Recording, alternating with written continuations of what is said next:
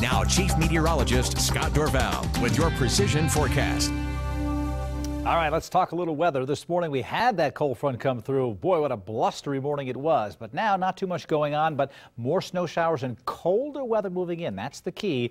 Here's a view from the Ford Dealers Tower Cam atop the Grove Hotel. A lot of cloud cover. Again, not too many showers. In fact, very few flurries in the Treasure Valley, but there are still snow showers occurring in the mountains. Let's take a look at Precision Live Doppler, and this shows as we sweep the skies. Boise, Caldwell, Nampa, nothing much going on, but there are some snow showers popping up uh, in the Boise Mountains. You don't get much coverage here. Around Lucky Peak, there's a snow shower here. These are fairly light. To the north, they're a, bit, a little bit heavier, but generally light. The real accumulating snow came in with whiteout conditions briefly, actually from 7 to 9 o'clock this morning in the McCall area. The uh, state police reporting whiteout conditions. And as I look at the snow accumulations, anywhere from four to nine inches of snow, although the top of Tamarack had a foot of snow. Brundage Mountain had about eight inches of snow. Uh, Mid Mountain at Tamarack had a foot of snow as well, only four inches at the base, but we're talking seven inches in McCall. So there was a good amount of snow all across the west central mountains. More snow showers continue to track in from west to east. Temperatures are blustery and chilly. It's 42 in Boise, 37 in Mountain Home. And unlike last night, when that sun goes down, these temperatures are going to drop like a rock tonight, and then the uh, snow showers will increase into the mountains and then start tracking towards the Treasure Valley as well. There's more moisture offshore, and there's a disturbance here that's going to start to circle on in. A lot of the energy will go to our south, but one computer chart shows some light snow over us.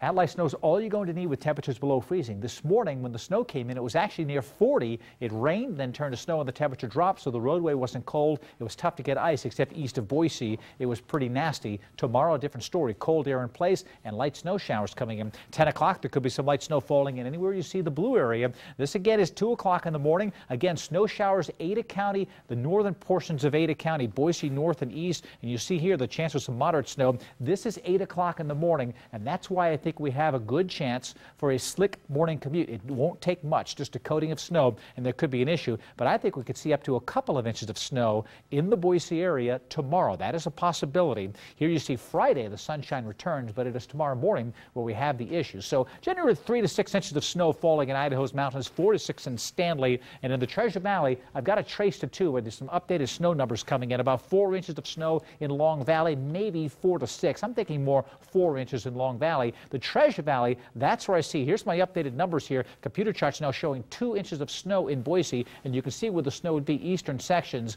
up, of course, into the mountains. So we're going to watch this closely, but tomorrow morning could be accumulating snow as this blast of cold air moves on in. Treasure Valley forecast temperatures tomorrow only near 40 during the afternoon, but watch out for a trace to two inches of snow during the morning and then gusty winds in the afternoon. Generally two to six inches in the west central mountains of snow showers off and on. East central mountains, three to seven inches possible while in the Magic Valley, you could get a couple of inches of snow here a slick morning commute likely in the Magic Valley again with temperatures in the 30s. My precision extended forecast. Wintertime for one more day. Still chilly on Friday, but it dries out. And this time of year when the sun comes out, it gets nice. That's Saturday and Sunday and Monday. There's your three day weekend. Timing's perfect. it, it is.